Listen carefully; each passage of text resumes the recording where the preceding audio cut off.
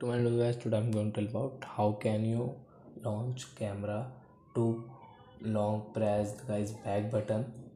Today we will talk about but before starting video guys i want to tell you if you're new in my channel so please go and subscribe my channel guys. Click the bell icon and like my videos. So guys first of all open your setting app then guys come on additional setting click here. And guys button shortcuts click here. Launch camera.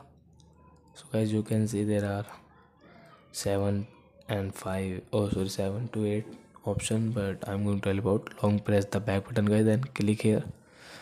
Now you can see guys. Back button press to launch camera guys. Again guys.